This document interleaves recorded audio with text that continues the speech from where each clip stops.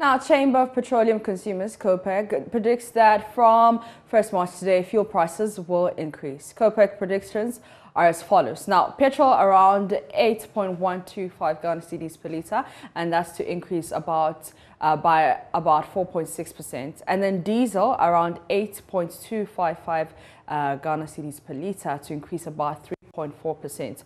Now, with an average for the two to hover around 8.190 Ghana cedis per litre, and it's changed by 3.43%. Now, for LPG, it's predicted to sell around 9.163 Ghana cedis per kg to be increased by about 2.5%. Now, Duncan Amoah is the executive secretary of COPEC, and we had a conversation earlier this morning. What you have now is a very wobbly currency. Mm-hmm. Uh, what rate you got yesterday, you will be lucky to get it uh, the next day. So the cedi has depreciated uh, quite badly over the period.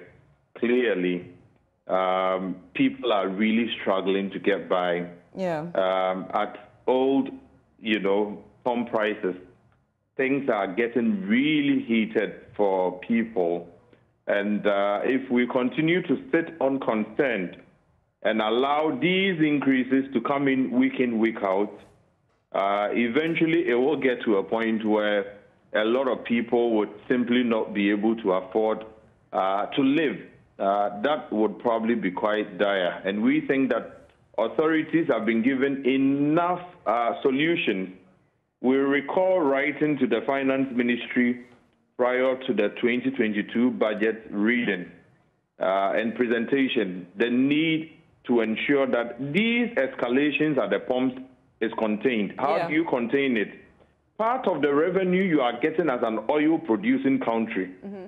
you should use some to offset the increases at the BDC level mm. in order that the BDCs do not go to import and simply pass on the increases that they are also recording on the international market. The solutions are well known, well documented.